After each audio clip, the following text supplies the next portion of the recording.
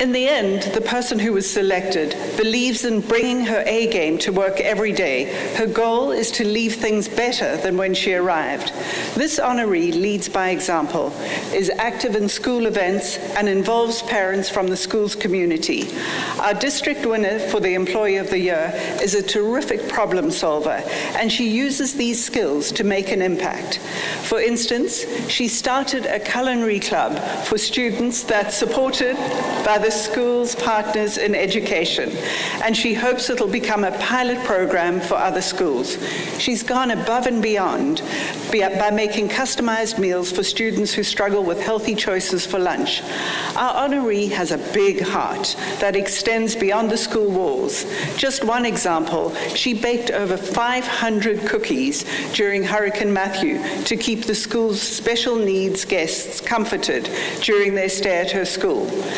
And if you haven't already guessed who the winner is, let me do this Oscar moment. I've always longed to do that.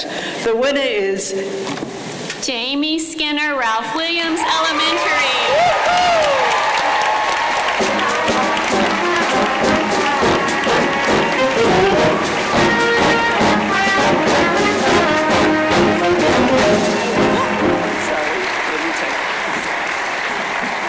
Thank you, thank you, thank you.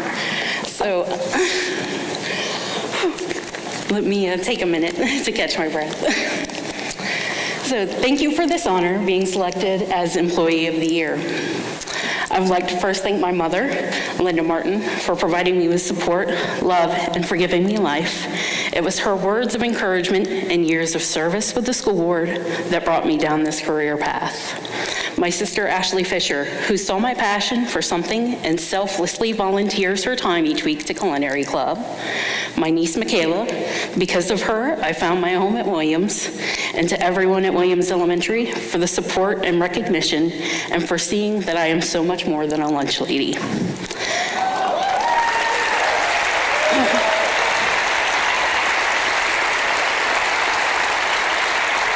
I'd like to thank Mr. Reed and Mr. Harold for bringing me into the school with open arms and open minds and for supporting our culinary club this year. And I also want to thank my former supervisor, Mary Lake, who has been amazing and provided me guidance and support through my entire career with Brevard Public Schools.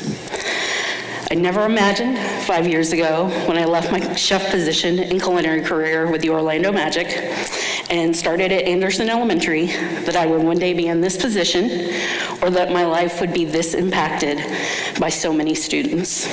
It's the satisfaction of smiling faces and the skills that I'm helping teach in such a small way. From the first graders in Culinary Club learning how to do fractions, convert recipes, and follow directions, to the sixth graders secretly learning about science and chemistry through baking. It's the extra thought of preparing items for students who just need a little more attention. It's providing comfort to those in need by baking hundreds of cookies and making gallons of coffee during Hurricane Matthew. And as Doctor Who says, I am and always will be the optimist, the hoper of far flung hopes, and the dreamer of improbable dreams. This has never been just a job to me.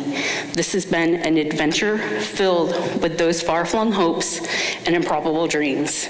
It's rising above the call of Lunch Ladyland, and it's being everybody's Aunt Jamie.